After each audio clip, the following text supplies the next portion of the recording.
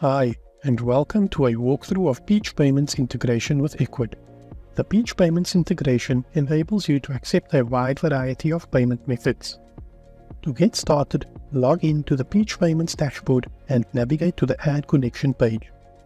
In the Ecwid section, click Add Connection.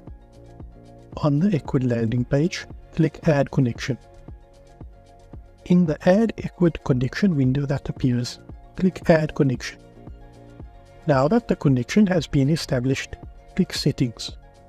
Copy your entity ID and secret token for later.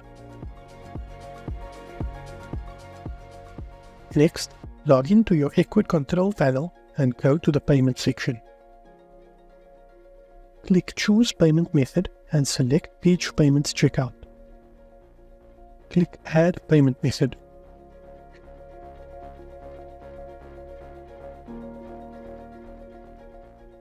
Set the environment to live to accept live payments or sandbox if you want to test payment acceptance.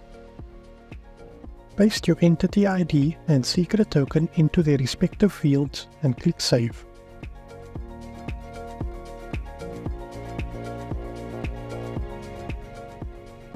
Your store can now accept a variety of payment methods through Peach Payments.